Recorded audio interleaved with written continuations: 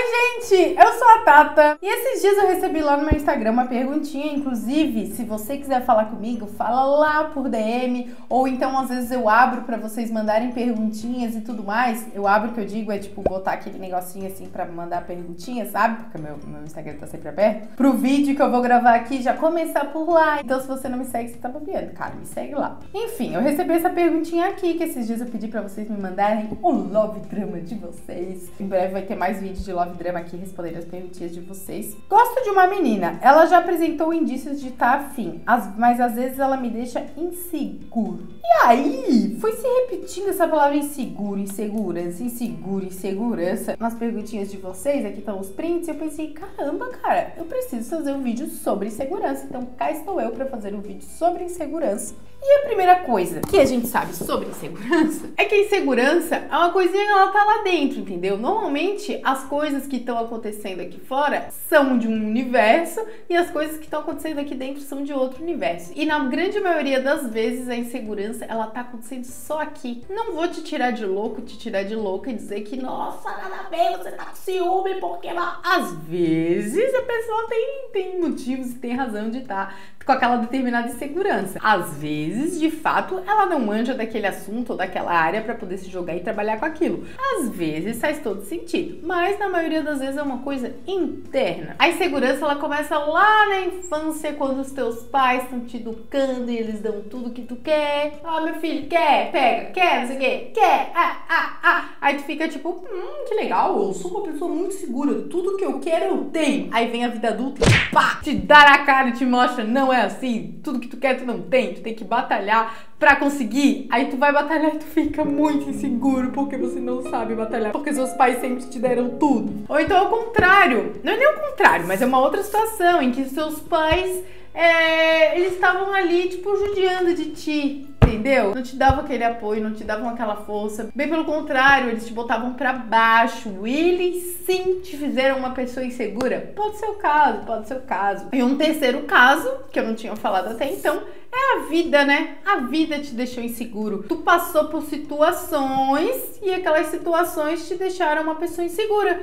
Porque tu foi lá, fez tal coisa e quebrou a cara. Porque tu foi lá, acreditou e quebrou a cara. Então a insegurança, basicamente, ela tá ligada à tomada de decisões ou então a escolhas ou então ela tá ligada à tomada de atitudes. Queria tanto fazer tal coisa, mas a insegurança não me deixa. E na conquista é principalmente aí que tá rolando. Na conquista, aí que embarrera. Aí que, que o nosso amigo aqui perguntou e que os nossos amigos aqui do, do Instagram perguntam e falam que no é ali que empaca a coisa, entendeu? Não é na tomada de decisão. Na maioria das vezes a pessoa já decidiu, ah tá, eu vou sim, eu vou, eu quero. Quero muito chegar nele, quero muito chegar nela. Mas aí dá aquela insegurança insegurança do caramba é que bloqueia a tomada de atitude. Então eu não preciso nem explicar para vocês como que é a sensação de insegurança, né? Porque eu acho que todo mundo já se sentiu inseguro em alguma área na vida. Isso é super normal. Ninguém é super seguro o tempo todo de tudo. E se existir alguma pessoa que é 100% seguro o tempo todo de tudo, com certeza ela vai quebrar a cara mais do que as outras pessoas. A insegurança é tipo a timidez. É ruim, é ruim, atrapalha muito pra caramba, mais atrapalha do que ajuda. Mas em determinadas situações ela serve de escudo para tu não te frustrar tanto. Tem pessoas que falta insegurança e aí falta um pouquinho de noção também. Então, acolhe essa tua segurança aí, pensa, calma, amiga, vou te ajudar, a gente vai dar um jeitinho nisso, eu vou conseguir concluir o que eu tô querendo concluir, se for uma conquista, eu vou conseguir chegar na menina. Ah, isso é bem importante também. A insegurança na conquista é diferente da insegurança no relacionamento. O que é uma pessoa insegura no relacionamento? É uma pessoa que ela cobra muito do parceiro, é uma pessoa que ela quer saber tudo da vida do parceiro, da parceira. Às vezes, até no início de relacionamento, a pessoa tá ali noiada em querer saber o que, que tu tá fazendo, o que, que tu vai fazer, o que, que tu já fez. Ou então aquela pessoa que ela quer atenção só pra ela, sabe assim? Não, eu não quero que você faça nada com seus amigos, nem com sua família, eu quero você só pra mim. Ou então aquela pessoa que precisa da aprovação do parceiro, da parceira para tudo, para qualquer, qualquer coisa que vai fazer, precisa da aprovação. Ai, o que, que tu acha? Se essa roupa tá boa? Ai, o que, que tu acha que eu vou não sei aonde? Ai, o que, que tu acha de eu fazer não sei o que? Tudo precisa da aprovação do parceiro, da parceira. Isso é um sintoma fortíssimo de insegurança. Já na conquista, a insegurança ela tá mais ligada à comparação. Seja sincero comigo, abra o seu coraçãozinho. Tu tá inseguro aí, tá? Provavelmente deve estar um pouquinho com alguma coisa na área da conquista pra estar tá assistindo esse vídeo, provavelmente, ou então você gosta muito de mim, obrigada, tamo junto. Então abre o seu coração aí. Vai dizer que se tu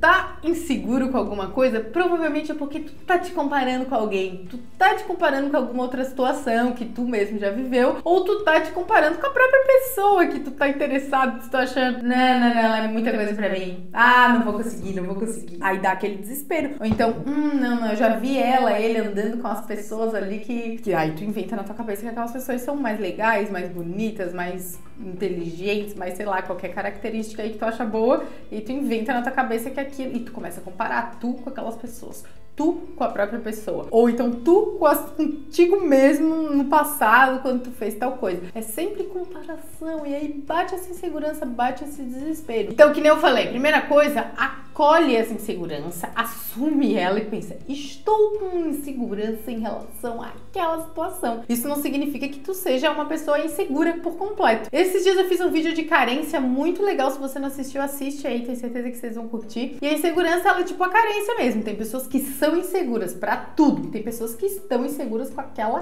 coisa. Mas a minha dica pro lance da insegurança na conquista é a seguinte: na conquista de qualquer coisa, tá? Na conquista, sei lá, de uma vaga de emprego, na conquista de, sei lá, tu tá querendo arranjar uma parada e tu tem que ir lá dar uma palestra, é a mesma dica. E na conquista de pessoas também é a mesma dica te coloca de observador. Sai da, da posição do, do diabinho e do anjinho que fica na nossa cabeça. Ai, vai, ela vai gostar, ela vai ficar contigo assim. Ai, não, não vai, tu vai. Aí lembra das situações passadas, então compara com as outras pessoas. Sai, sai disso. Tenta deixar tua mente pensante um pouquinho afastada e fica de observador. Observa de fora. De fato, o que, que essa pessoa é? De fato, o que, que eu tô querendo com ela? De fato, quais são as possibilidades? Quais são as chances? Tem vários vídeos de chances e possibilidades. Se vocês quiserem ver, posso botar no card aqui em cima. Posso não, eu vou botar no card aqui em cima. E foca no objetivo final, que é conquistar aquela pessoa, que é só dar uns beijos naquela pessoa, que é sair com aquela pessoa, que é casar, namorar, ter 20 filhos com aquela pessoa, entendeu? Foca no objetivo e o resto esquece. E fecha os ouvidos pro diabinho, pro anjinho, de Não, fica de observador e pega tu como observador e fala, vai. Tu vai conseguir, tu mesmo te motiva, entendeu? Tu cria um, um, um, sistema aqui dentro da tua mente pensante que tu mesmo vai te motivar, tu mesmo vai conseguir trabalhar e diminuir essa insegurança. E não fica nervoso que, ah, de novo eu tô inseguro, já tinha feito isso com tal pessoa e agora eu tô inseguro de novo. É assim, cada caso é um caso, cada situação é de um jeito. Espero que vocês tenham gostado desse vídeo, espero que tenha sido útil. Esse vídeo aqui vocês também vão curtir. Vocês vão gostar também dessa playlist, porque tem muitos outros vídeos assim. Se inscreve no canal. Foi isso, um beijo, tchau!